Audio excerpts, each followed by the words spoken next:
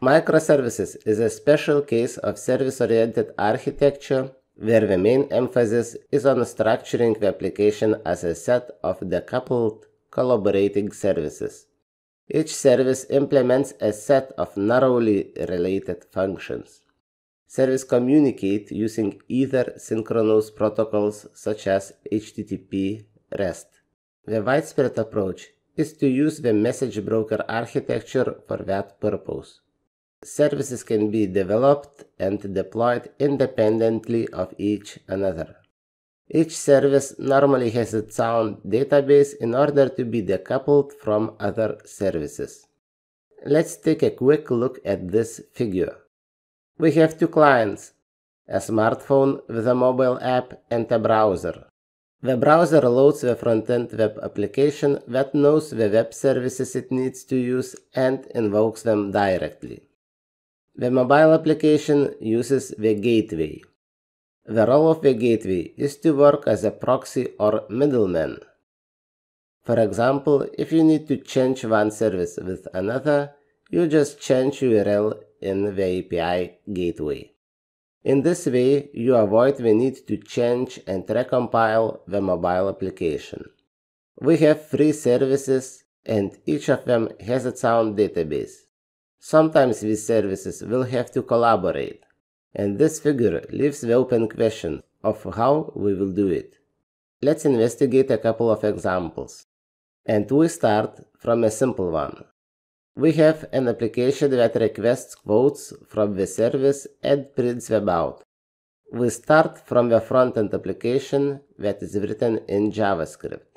It takes the API gateway variable that contains the API gateway address, constructs the URL and invokes the random quote endpoint.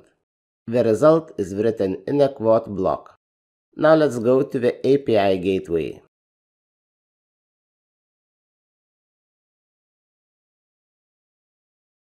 API gateway is also written in JavaScript. It is Node.js, the JavaScript dedicated for server-side execution.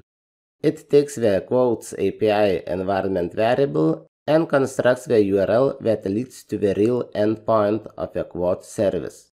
We can see that the invoked API endpoint is also a bit different, just quote. So, the API gateway invokes the endpoint and returns the received results plus the current time. Now we go to quote service.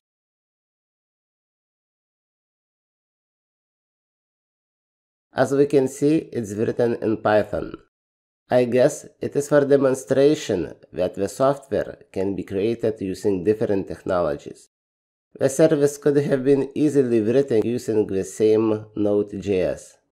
Here is the implementation of our endpoint. It selects the random quote and returns the quote and author in JSON format. I find this solution easy to understand, but the real-life examples are not that simple. Let's see another example. We will not investigate the code itself as it requires the knowledge of various frameworks such as Java Spring Framework, Angular Framework, RabbitMQ, and many others. Just take a look at the architecture.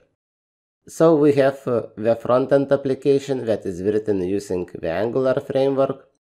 The application uses the API gateway to invoke the services the API gateway uses the discovery service to find out where the required services reside. Take a note that the services must register themselves to the service registration and discovery cluster.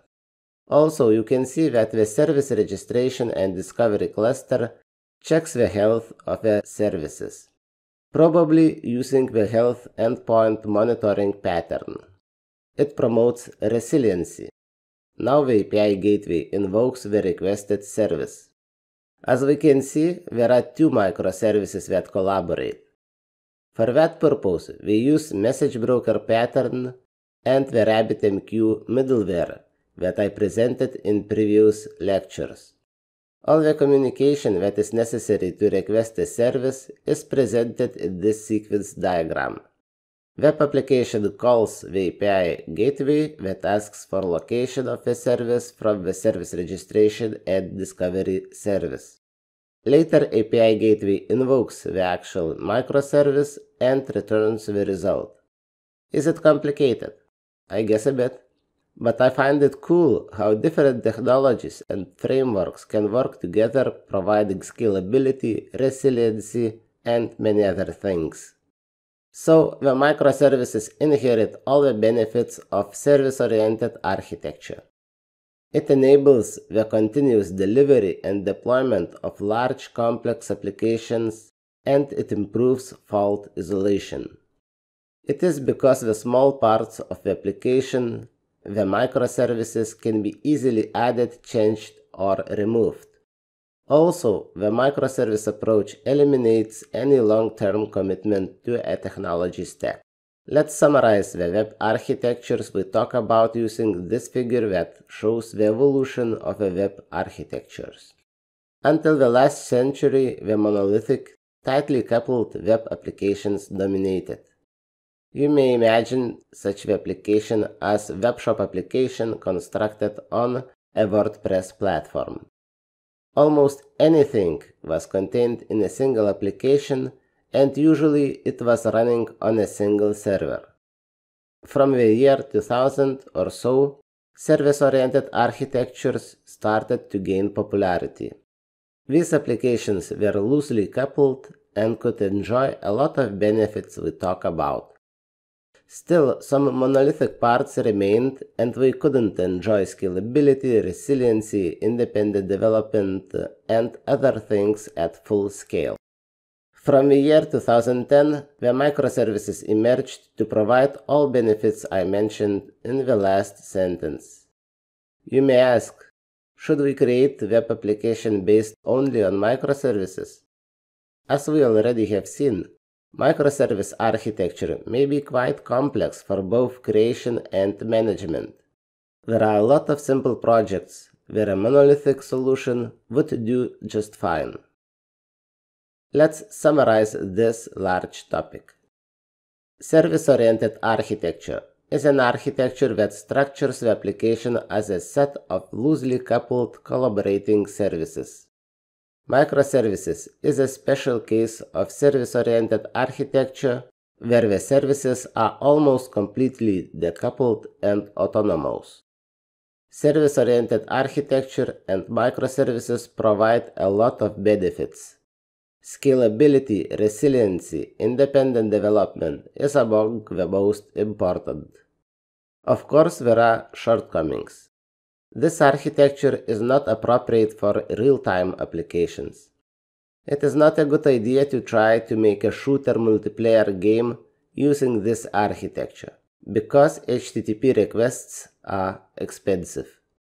Also, service-oriented architecture and microservice architecture implementations might be quite complex. That was just a short introduction to the world of web architectures. Hope you enjoyed it. Thank you for watching.